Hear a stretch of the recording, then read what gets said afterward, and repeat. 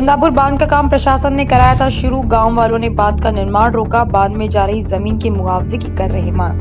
बेगेट ज़मीन के मुआवजा दिए। प्रशासन ने शुरू कराए काम। राप्ती नदी के बहाव की दिशा बदलने की भी कर रहे मांग। कुछ ही दूरी पर पहले प्रशासन ने राप्ती नदी के बहाव की दिशा बदलने के लिए किया था प्रयास।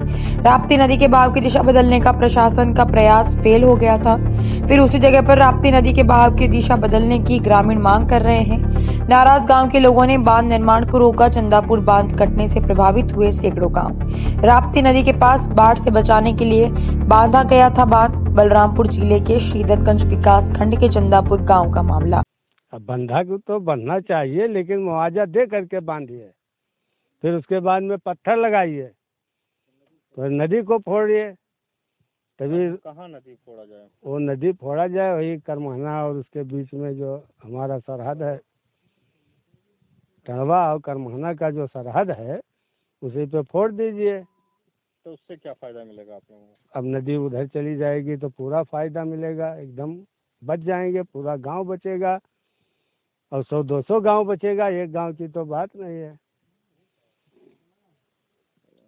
सौ गाँव के बह गए लोग खेती किसानी तो धान पूरा बर्बाद हो गया किसान का। ज़मीन चली गई नदी के अंदर इंसान वैसे ही परेशान है बिना जाने समझे बिना मुआवजा दिए किसी का घर खेत गिरा दो, खोद डालो, गड्ढा बना दो, बंधा बना दो, ये कौन सा प्रशासन होता है? प्रशासन को तो ये उम्मीद रखना चाहिए कि भाई किसान को बुला करके मैं उनको बोलूँ कि भाई तुम्हारा जो मुआवजा है, गरीब किसान का खेत है, वो ले लो पैसा, हमको ज़मीन दो, हम अपना बंधा बाँध देते आपके बचाव के लिए। तो बचाव क्या कर रही है? कुछ नहीं बचाव हो रहा है, उल्टा और किसान को बर्बादी कर रहे हैं ये लोग। उल्टा ये पाँच करोड़ रुपया दिया गया। पाँच करोड़ में तो बीस मीटर का आरसीसी दीवार उठ जाता। वो देवे हमको ठेका मैं बीस मीटर का ठेका लेता हूँ कि मैं इसका सत्तर फुट गहरा लेकर के मैं पूरा बोल डीजल चलवा करके मैं आरसीसी दीवार उठवा दूँगा। पाँच करोड़ रुपया गवर्नमेंट खा गया। गवर्नमेंट तो दिया तो खाया कौन? नहीं वो हाँ सही हो रहा है कि गलत हो रहा है पैसा उपयोग सही जगह पे जा रहा है कि गलत जगह पे जा रहा है। ये दो टरेली बामू गिरा दिए, बाँस के बामू से टरेली, या मुर्दे का तख्ता में लग जाता है दो टरेली बामू। हैं?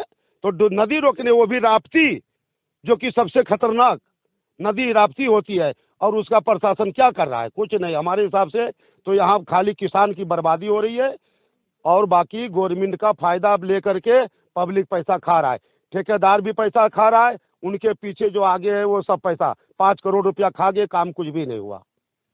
तो आप, अब आप लोग क्या चाहते हैं? हम ये चाहते कि जो हमारे किसान भाई का ज़मीन जाए, पहले मुआवजा दे दे, फिर उसके बाद बंधा बने, नहीं तो हमको डूबने दो।